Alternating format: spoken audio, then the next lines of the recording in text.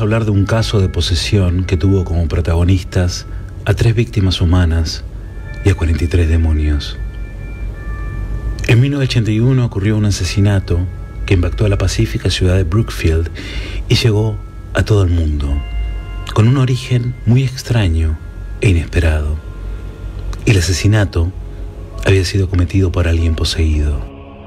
La pesadilla comenzó con pesadillas. El 3 de julio de 1980, un niño de 11 años llamado David Glatzel se despertó gritando y diciendo que delante de él había un hombre con grandes ojos negros, una cara delgada con rasgos animales y dientes irregulares, orejas puntiagudas, cuernos y pezuñas. Esto comenzó a repetirse cada vez más. Junto a eso, señales extrañas aparecían en la casa. Frío, objetos que se movían, voces incorpóreas. David comenzó a decirle a este ser, el hombre bestia. El niño no veía películas de terror, no sabía nada acerca del mundo de la oscuridad, del mundo paranormal, no sabía de demonios. Era completamente inocente, pero su comportamiento cambió por completo. El que una vez fue feliz, el niño afortunado, se volvió intranquilo y nervioso. La hermana de David, Debbie, le pidió a su prometido que se quedara con la familia por un tiempo para ver si podía ayudar a David. Él era una buena influencia, era un buen tipo. Las pesadillas no desaparecieron, sino que empeoraron. David tenía moretones y rasguños mientras dormía, y se escucharon ruidos extraños que venían del ático. Pero la familia no pudo encontrar una razón para esos ruidos. Y el hombre bestia quien aparecía durante los sueños, le comenzó a decir al niño que se iba a quedar con su alma. Al poco tiempo David comenzó a ver al hombre bestia mientras estaba despierto. Afirmó ver también un anciano con barba blanca y larga, vestido con una camisa de franela y jeans. La madre decía que David pateaba, mordía, escupía y decía barbaridades. En otros momentos Vivía la experiencia de estar estrangulado, como si manos invisibles trataban de agarrar su cuello y él trataba de zafarse. Lo levantaban y lo dejaban caer rápidamente, como una muñeca de trapo. Sin otro lugar a donde acudir, la familia Glatzel recurrió a su iglesia. Un sacerdote vino a la casa y la bendijo, lo que pareció hacer que el hombre bestia se moleste, y todo empeoró. El niño manifestó arañazos y golpes e incluso levitó delante de su familia. Los sonidos del ático se hicieron más fuertes. Los sueños de David, las visiones aumentaron de noche y de día. Durante la noche, la familia empezó a quedarse a su lado, especialmente Ernie, el prometido de Debbie, porque cada 30 minutos el niño se despertaba retorciéndose y aullando y al poco tiempo comenzó a hablar en diferentes lenguas y voces que era imposible que sepa o que reproduzca. Ya a esta altura le era imposible dormir. Recurrieron a dos investigadores paranormales, que todos conocemos, a los Warren, para que intercedan de alguna manera para que se haga algo. Y llegaron a la conclusión, después de mucho tiempo de estudio, que el niño debía ser exorcizado. Le hicieron tres exorcismos, cuatro sacerdotes. En uno de los exorcismos, se le pidió al demonio que habitaba dentro de él que se manifieste. Y no dijo ningún nombre, pero dio un número. Somos 43. 43 demonios habitaban en este niño de 11 años.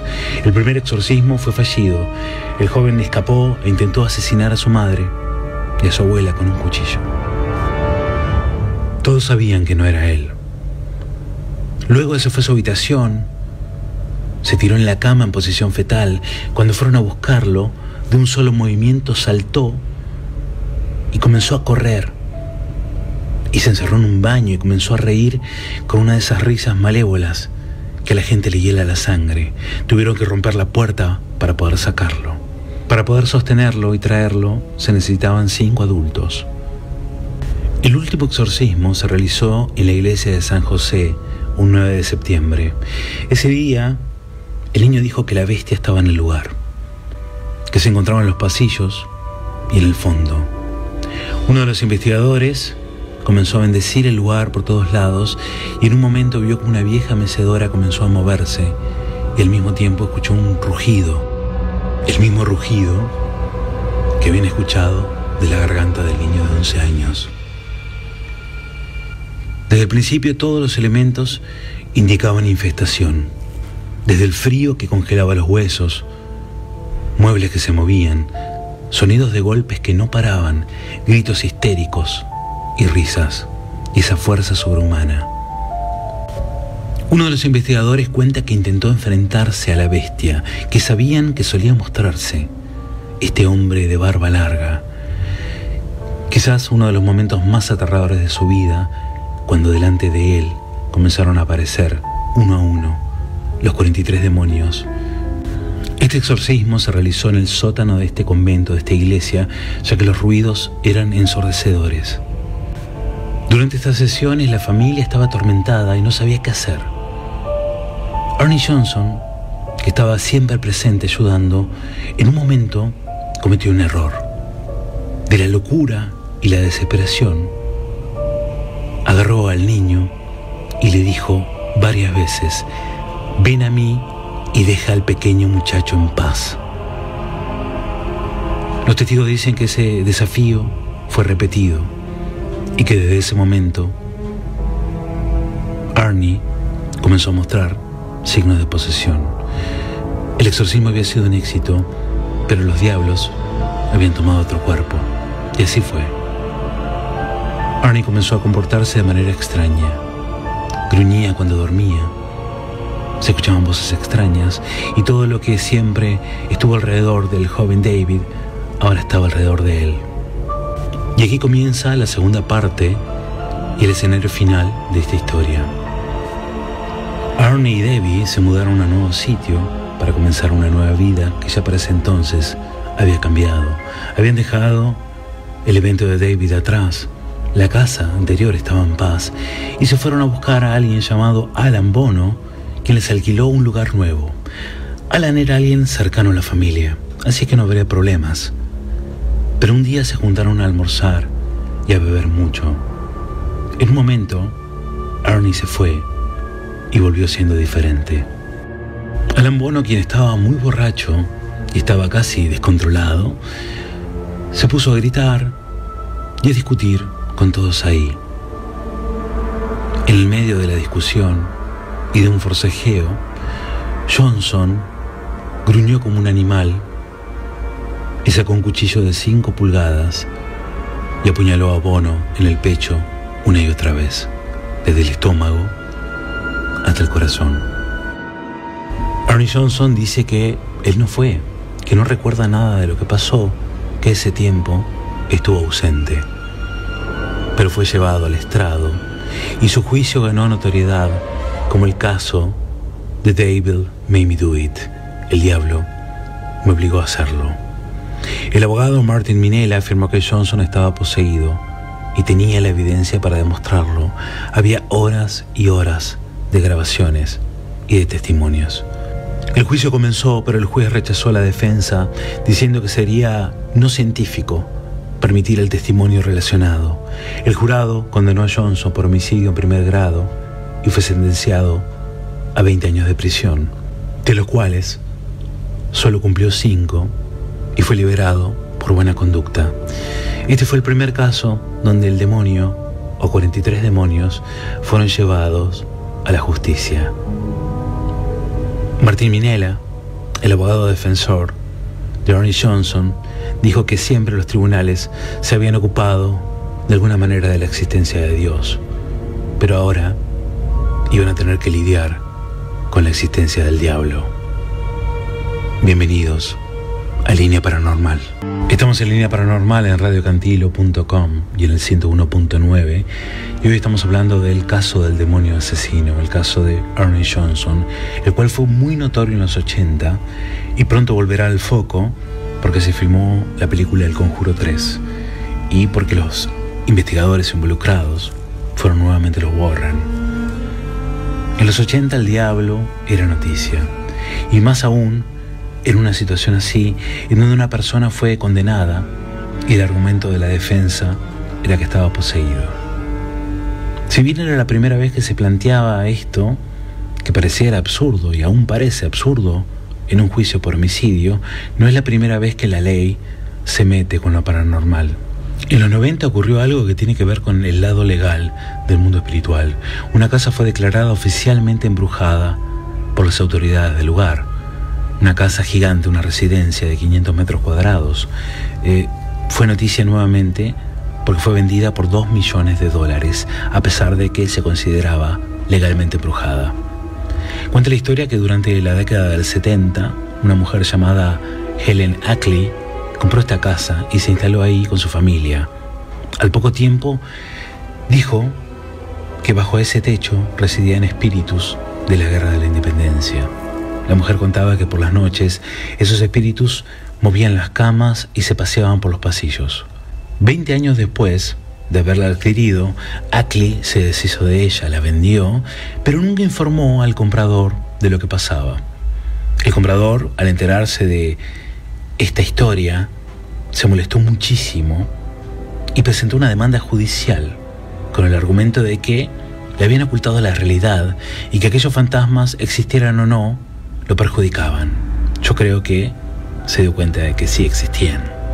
Fue entonces entró a jugar la justicia y en 1991 el Tribunal Supremo de Nueva York le dio la razón al comprador y obligó a que todas las personas que vendieran sean transparentes con respecto a las propiedades y declaró la casa legalmente embrujada. Pero una cosa es una casa y otra cosa es un homicidio. Lo que nos lleva a otro caso que conocemos, el caso de Annelies Michel, que hemos hablado, el exorcismo de Emily Rose, donde sacerdotes fueron acusados oficialmente de la muerte de la joven durante un exorcismo. Y los sacerdotes fueron declarados culpables, pero fueron eximidos de la prisión porque consideraban que ya habían cumplido su condena.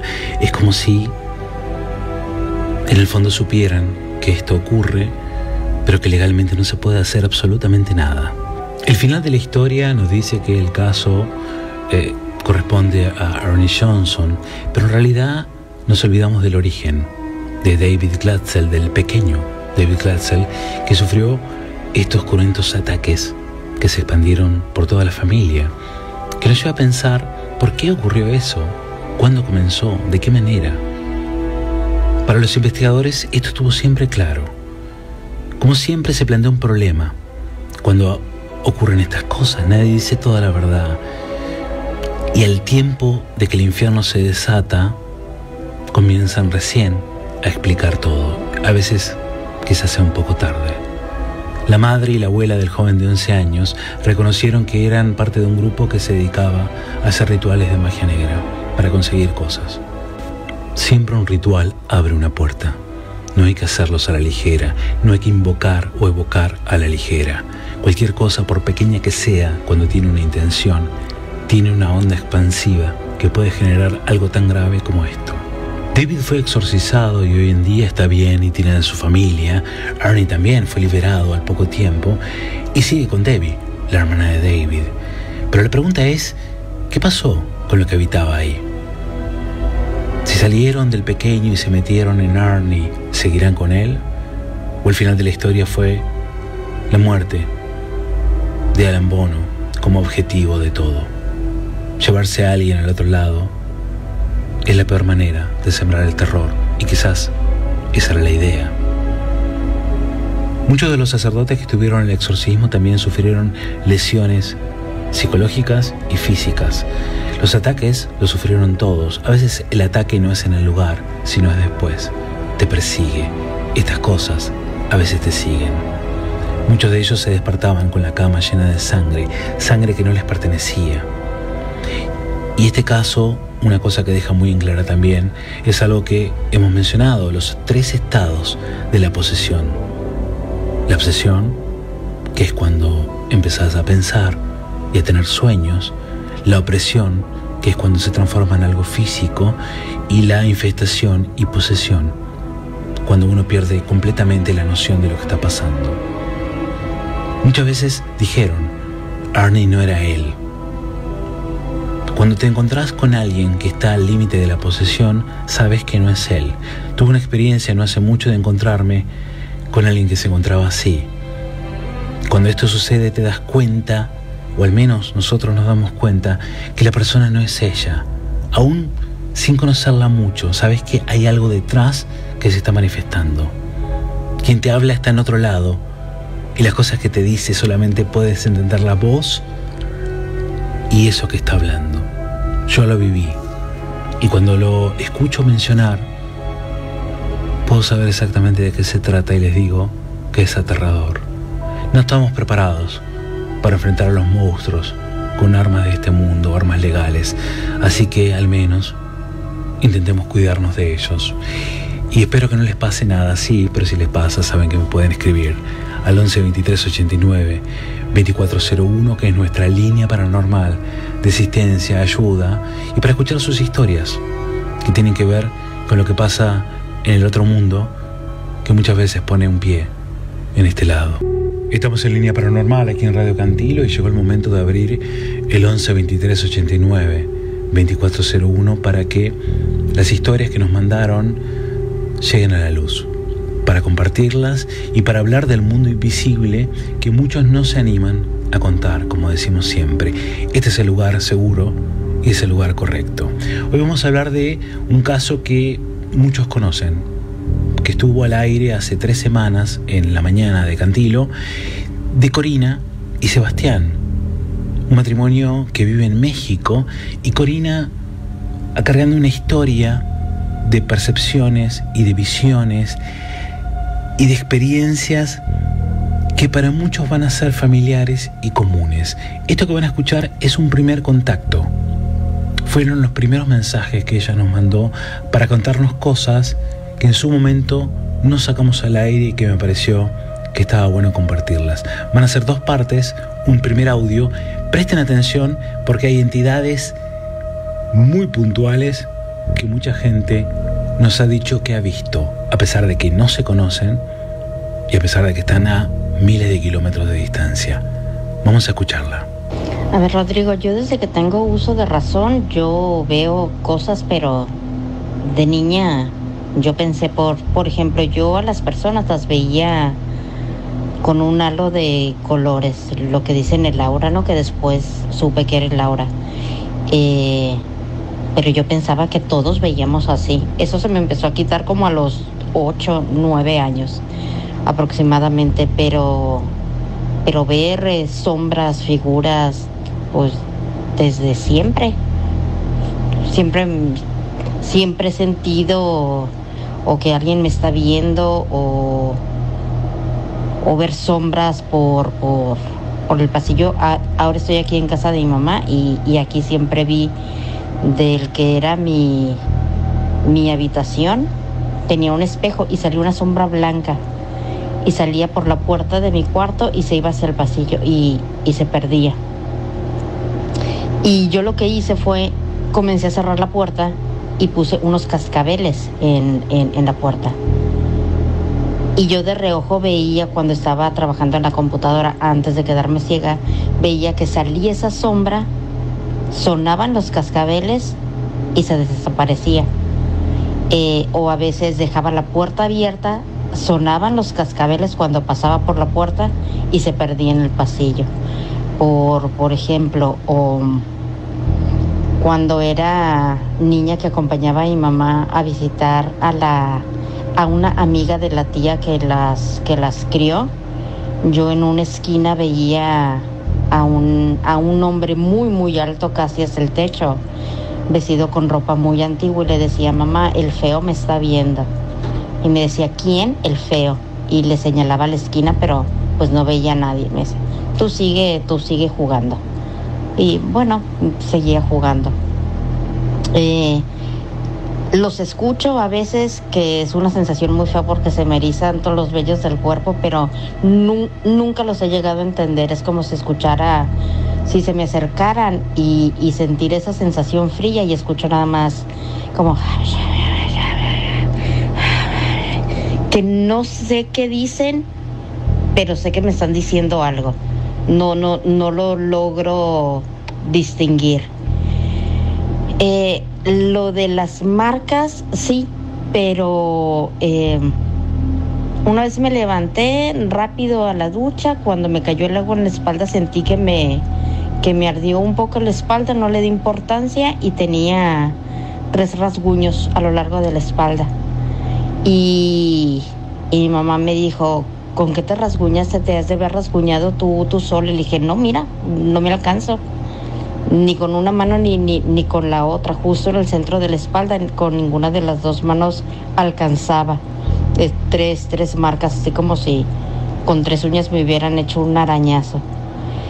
Eh, en el trabajo, también en el trabajo se se movían cosas, eh, estaba buscando un clip para, para unos documentos y dije, un maldito clip, por favor, necesito un clip y no encontraba, no encontraba cerca y en el estante que estaba atrás de mí estaban todas las cosas de papelería y se estrelló así como que desde ahí voló una caja hasta donde yo estaba. Se abrió la caja y todos los clips desparramados ahí en mi, en mi, en mi escritorio. Que bueno, gracias, pero nada más necesitaba uno, no, no muchos. Este es el primer audio de los dos que tenemos con el resumen de muchas de las cosas que nos mandó ella en el primer contacto que tuvimos. Ella menciona el aura. El aura suele ser lo primero que la gente que tiene el don ve. El aura de la gente, una luz que nos rodea, muchas veces luminosa cuando estamos bien y muchas veces oscura cuando estamos mal. Algo que se busca reforzar para, lo que, para que lo que está afuera no nos hiera, a veces psíquicamente y a veces físicamente. Ella ve figuras, ve sombras, la sensación de que alguien te observa. Después, esta sombra blanca que atraviesa el espejo, el espejo nuevamente como portal, como puerta para el otro lado, que siempre lo hemos mencionado. Los cascabeles han sido muchas veces utilizados como detector de fantasmas. Se los colocaba con un hilo que atravesaba un lugar donde había actividad y se esperaba que suene para ver si atrapaban a alguien. Y el hilo sonaba con la campanita y no parecía nada. Junto con el talco, el talco también era otro elemento que se utilizaba para cazar fantasmas, para ver si había alguna huella de algún extraño en realidad. Y muchas veces la huella aparecía y la habitación estaba completamente sellada, era imposible que nadie entre. Y menciona Corina también una entidad que ha sido reportada infinidad de veces, que es el hombre alto. Un hombre alto hasta el techo, con la cara deformada, o a veces sin cara, que nos remite a alguien que conocemos y que pronto vamos a hablar, que es el Slenderman. También habla de ataques, los rasguños en la espalda, las tres garras que se repiten, muchas veces asociadas al ataque de algún tipo de demonio o de espíritu muy oscuro. Vamos a escuchar la segunda parte de lo que Corina nos mandó en su momento a Línea Paranormal. A mi mamá le gusta tener muchas figuras de, ángeles. Y, y estaba un sobrino, pequeño de haber tenido unos cuatro o cinco años y mi mamá le estaba leyendo un cuento.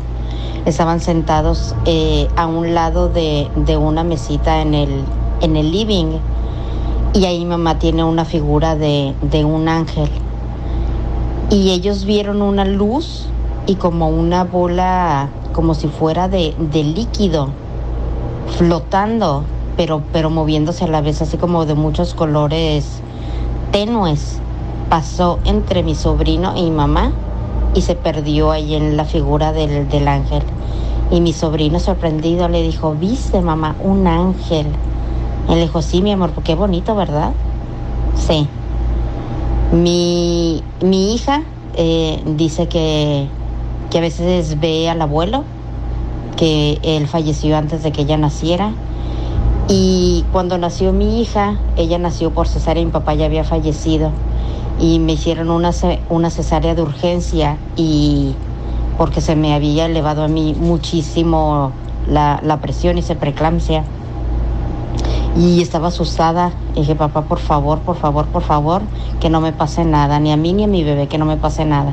Y en eso me dio el olor de mi papá, el perfume del olor de mi papá, que aparte ya lo habían descontinuado hace años, ¿no? Era una, una colonia, eh, colonia Brut, que era, que era, que era lo que, que estaba descontinuada. Entonces pasaron, me habían pasado muchas cosas en la Ciudad de México, en casa de mis abuelos, eh, ver sombras o, que te hablan en, en, el pueblo también, eh, una casa muy antigua, en la parte de atrás eh, la familia hacía dulces y tenían los paquetes de celofán y, y se incendió y uno de los de los jóvenes que trabajaban ahí falleció y a mí me tocaba quedarme a dormir en la habitación que daba hacia ese patio. Y en la noche tocaba la ventana y se escuchaba ch, ch, ch, Y si volteabas a la ventana se veía la cara del chico, pero así como si fuera de cera que se estuviera derritiendo. Con mi perro guía fallecido, Oso, era un labrador eh, europeo, negro. Eh, ya lo habíamos puesto a dormir junto con el perro guía jubilado de, Sebastián, con Jack, labrador amarillo. Pero un día estábamos aquí en casa y estaba, estábamos por, por desayunar. Entonces yo,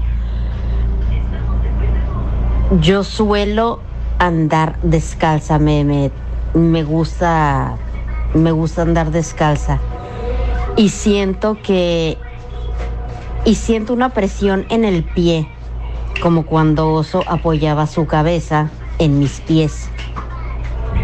Pero yo antes de sentir esa presión había escuchado su, collar. Lo, en, en, un momento llegamos a, a tener tres perros en casi cada quien tenía un sonido distintivo. Y yo escuché el de oso y le digo a Sebastián, aquí anda oso, ¿eh? Y me dice, sí, sí, sí, está bien. Sí, sí, sí, está bien. Y cuando siento esa presión y, y como que eh, y, y como que el perro levanta la cabeza y dejo de sentir esa presión, se me queda una baba espesa así en el empeine y, entre los dedos. Y, Oso hacía de, los tres perros, hacía unas babas muy espesas y siempre me dejaba los deditos de los pies o, el pantalón con esas babas y me tenía que andar limpiando cada rato porque cuando me rozaba la pierna se limpiaba la baba en mi pierna y me quedaba ahí. Y al día siguiente escuché su, su sonido que hacía como, como un tren, un, un, sonido muy gutural, eh, como un ronroneo, pero, pero, pero de perro. Y siento que algo me roza la pierna. Y cuando me llevo la mano a la pierna, tenía la baba de oso en la pierna. Y le dije a Sebastián, mira, pasó oso y me, y me, y me rozó y me dice, estás bien loca, me dice, no me asustes. Y le digo, mira, pues tócame el pantalón. Y le tomo la mano a Sebastián y me dice, ¿qué es esto? Un moco. No le digo, es baba de oso. Eh, y, y Sebastián así como que, no, no, no puede ser. Y le digo, ya ves, aquí andan con nosotros, pero, pero pues a Sebastián sí le da un poco de miedo. A mí, a mí me dio gusto saber que, que seguían con, con nosotros. Es increíble cómo la persona que puede ver pierde el miedo y se acostumbra. Normalmente la persona que no cree o que no puede ver es la que más miedo tiene. Pero en el caso de, muchas personas, incluido el caso de Corina, con todo lo que siente aún hoy en día, eh, no tiene miedo. Sí, Sebastián, que tiene que estar ahí al lado de ella y ve y muchas cosas, percibe muchas cosas que, que ella les dice que están ahí como, como la baba de su perro. Que es algo que mucha gente me pregunta, tiene que ver con los animales, con los animales que, que se murieron, pero que siguen estando de alguna manera, siguen manifestándose para darnos la tranquilidad de que existe algo más allá de la muerte aún para una mascota. Todos los seres vivos tienen esa luz interna que trasciende. Y justamente de esto habla la historia, de esto habla la línea paranormal, habla de trascendencia. No todo es oscuridad, no todo es terror y demonios. Muchas veces los fantasmas dan miedo, pero no porque ellos quieran que tengamos miedo, sino porque nosotros nos asustamos de ellos. Corina habla de ángeles, de una familia que claramente todos ven. La madre el sobrino ven una bola de colores pasar y saben que es un ángel. La hija que ve al abuelo que falleció sabe que está ahí. Vino el abuelo a verme y se fue. El sentir el perfume del padre en situaciones muy difíciles. Los que partieron están y nos siguen cuidando. Y lo decimos siempre y siempre se van a dar a conocer. Van a hacer un ruido, van a hacerse presentes con un aroma característico, eh, pero que están, están todo el tiempo que sea necesario para que nosotros estemos cuidados y acompañados, muchas veces acompañados y protegidos de cosas que ni nos imaginamos que están ahí. Muchas gracias a Corina y Sebastián por, por sus mensajes y por compartir sus historias. Y si tienen historias así para contarnos, o alguna duda o alguna foto, ¿eh? pueden mandarla al 11 23 89 2401, que es nuestra vía de comunicación, para que estemos en contacto y para que sepan que, como siempre digo, a todos les pasa este tipo de cosas y no estamos solos ante ellas. Diccionario demonológico. Porque, aunque no creas en el diablo, el diablo cree Hay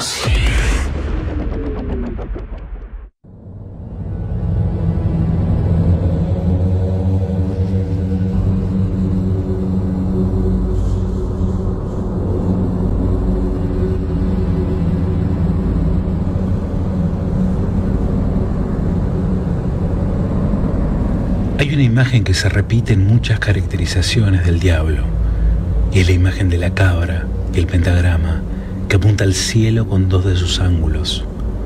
Si el pentagrama tiene una punta para arriba, es protección.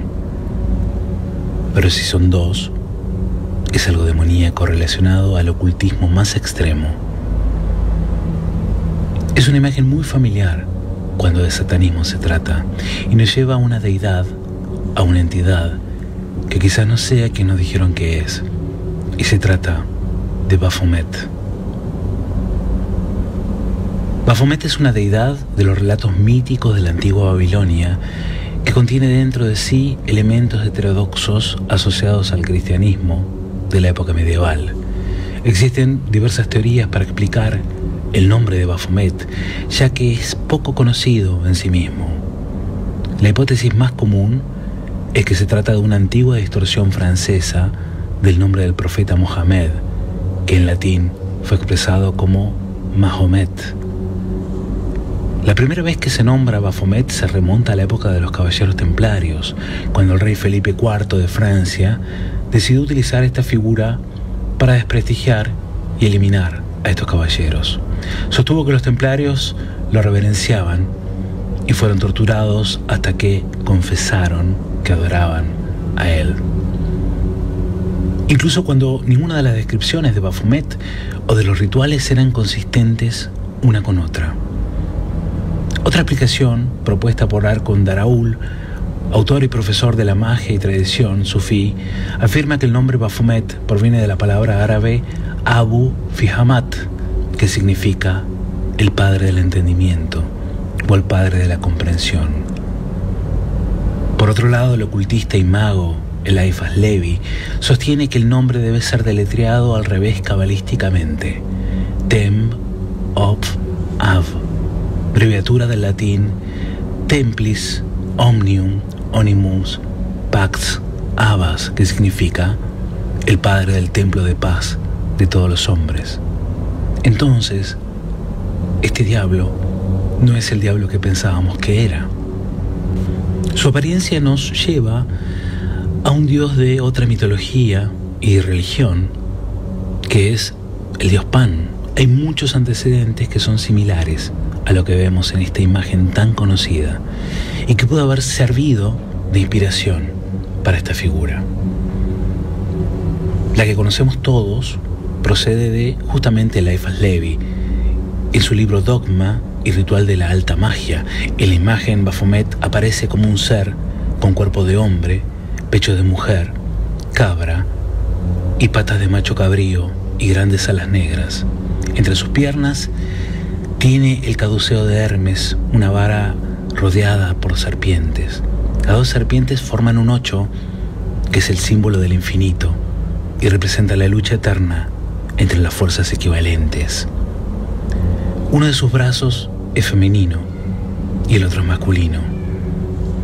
Resplandeciendo entre sus cuernos se encuentra una antorcha de la inteligencia, la luz mágica del equilibrio universal y la figura del alma elevada por encima de la materia.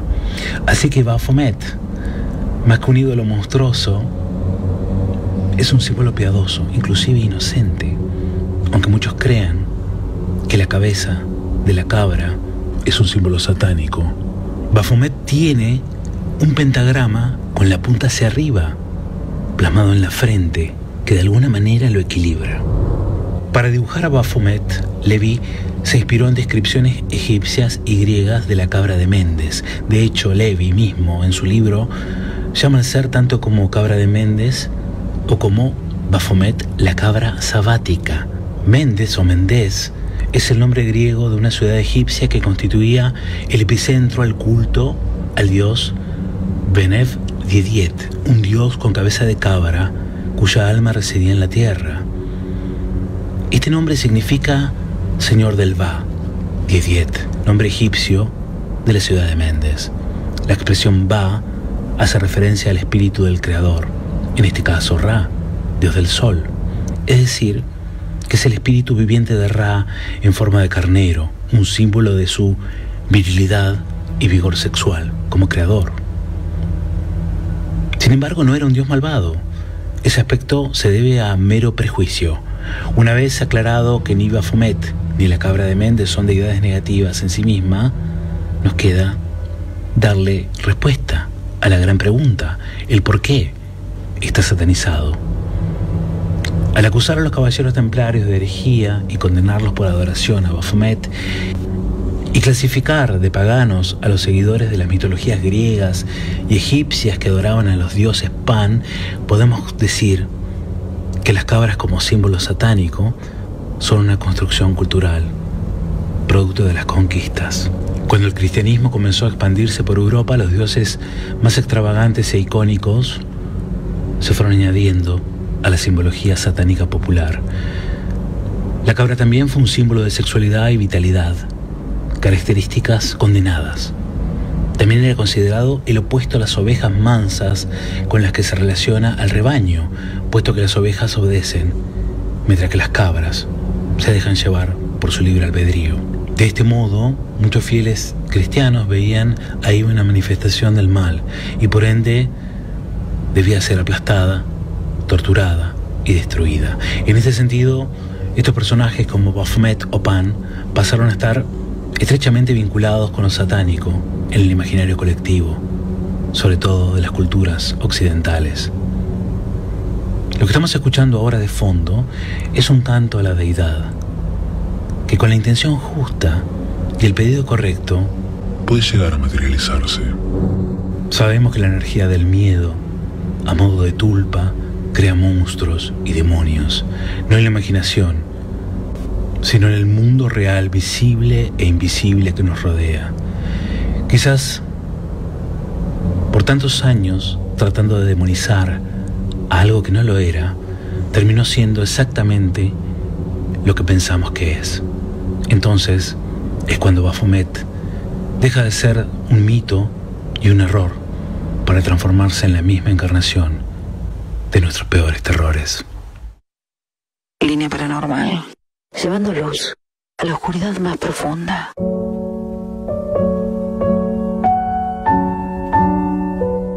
Estamos llegando al final de Línea Paranormal aquí en Radio Cantilo. Hoy hablamos del caso del demonio asesino, el caso de Arnie Johnson. Estuvo Corina desde México, le mandamos un abrazo muy grande a ella y a Sebastián. Y gracias por compartir estas historias que son fascinantes.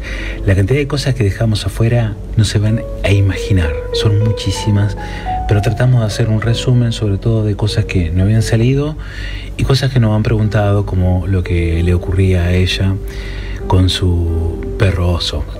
Eh, hoy hablamos de demonios. La idea cuando hablamos del diccionario es conocer la historia y conocer de lo que se habla. Muchas veces no son lo que parecen y otras son peores de lo que creemos. Hay mucha simbología, hay muchos sellos relacionados con estas entidades y están ocultos alrededor nuestro.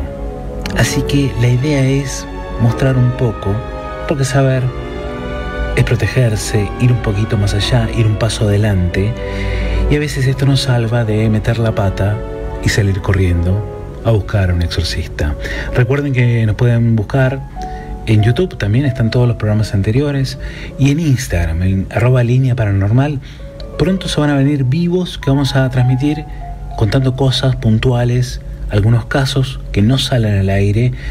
Quizás hablemos de algunas cositas que por tiempo no las podemos desarrollar eh, antes o después de cada programa, así que estén atentos.